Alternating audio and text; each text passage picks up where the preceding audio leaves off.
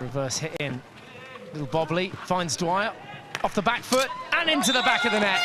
Jamie Dwyer opens the scoring here for Australia. Australia won, France nil. Five times player of the year.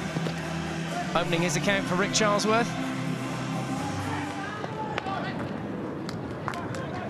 Seven goals in total in the tournament now for Australia. Can they make it eight? Dwyer one-on-one -on -one with the keeper, lifts it over him and into the back of the goal. It's number two for Dwyer and it's number two for Australia. Australia two, France nil. Injection comes in now. Oh dear. Simple goal. I think is Dwyer going to take the credit for that one? It was Ciriello's flick. There's Cirello, head of the D. Oh, it's Dwyer. Dwyer gets the touch. Dwyer gets the hat-trick. Knowles now with the ball in. Penalty corner. Oh, it's gone in.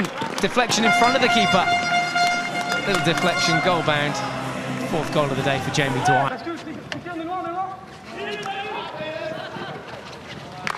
Dwyer has a go, and that's how you do it.